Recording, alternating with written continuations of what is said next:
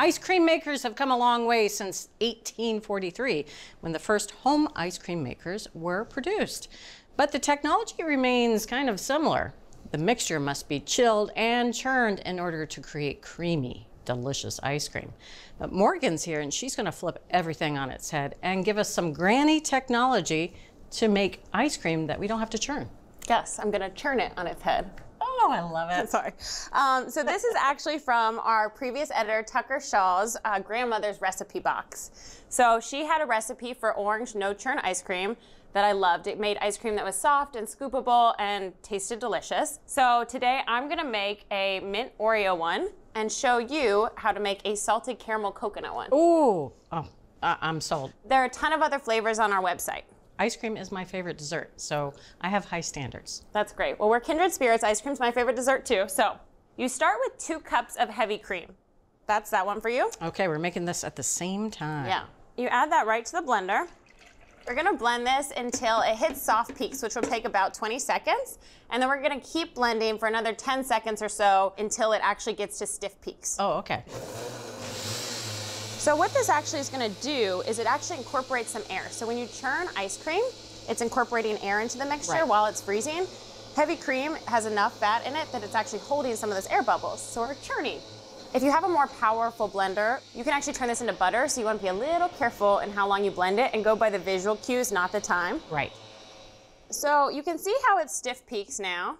So now we have all this air incorporated in here like the ice cream maker would do when it churns. Right. I have a cup of sweetened condensed milk. And this will keep the ice cream soft and scoopable in the freezer. So this doesn't freeze that well. So the ice cream will actually not turn into a rock hard mixture. For me, I have a quarter of a cup of corn syrup. Okay. You, because you're making salted caramel coconut, have a quarter of a cup of caramel sauce. Lovely. And this is again another one of those soft sugars. Yes. Okay. Next up is a quarter of a cup of whole milk. All right. So I tried to make it without this, and the ice cream just gets a little greasy. This actually cuts through that two cups of heavy cream. I also have two tablespoons of sugar up next. Okay. So next up we have extracts. You have a teaspoon of vanilla. I have three quarter teaspoon of peppermint. Mmm. We both have salt. You have a half teaspoon because yours is salted caramel. Right. I want it to be nice and salty. I have a quarter teaspoon. I don't want my mint to be salty. No. And then I have a little bit of green food coloring, an eighth teaspoon. I'm a firm believer that mint ice cream needs to be green. Okay, so I'm gonna stir it in. If you don't stir it, all that heavy cream that's stuck at the bottom, it won't incorporate. So, Okay. gotta stir. And we let this go another 20 seconds. Everything should be really nicely incorporated. If you see stuff getting stuck, you can definitely scrape it down. Okay. Okay. Mine looks nicely incorporated. Mine looks the same. Yeah. Oh. Looks great. Good. Into the loaf pan it goes. So the loaf pan gives us a lot more surface area, which helps it freeze faster and more efficiently. And the faster it freezes, the less ice crystals you get, and the more creamy the ice cream. Love it. You can add just about a half cup of anything you want. Uh, I have a half cup of chopped chocolate sandwich cookies that I'm gonna stir in. I love when you get a chunk of those in the frozen ice cream. Okay, so I'm gonna stir this in and get it nice and incorporated. You can see how it's like about the texture of a milkshake that helps suspend things.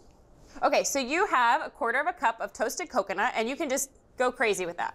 So you have a third of a cup of caramel and I want you to lightly drizzle it over top. That's beautiful.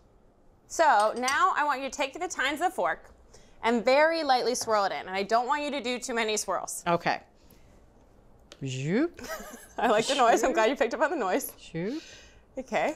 shoop. I think that's stunning. So the reason you want to be careful while you're swirling is you want these nice pockets of caramel. That's going to be mhm. real fun while you're eating.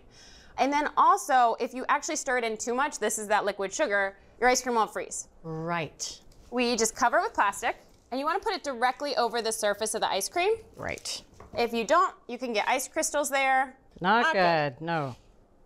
So now we just have to freeze them, which will take about six hours till it's firm. Of course, you can let it go a little longer than that. Okay, so just right in the freezer. Right in the freezer.